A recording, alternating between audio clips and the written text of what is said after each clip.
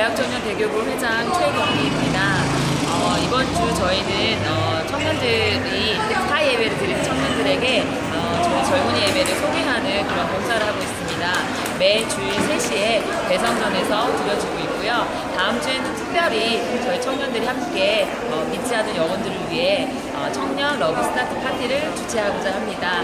어, 많이 관심 가져주시고 기도해 주시고 많은 청년들 함께 예배 드리길 원합니다. 오브 예배 때 봬요.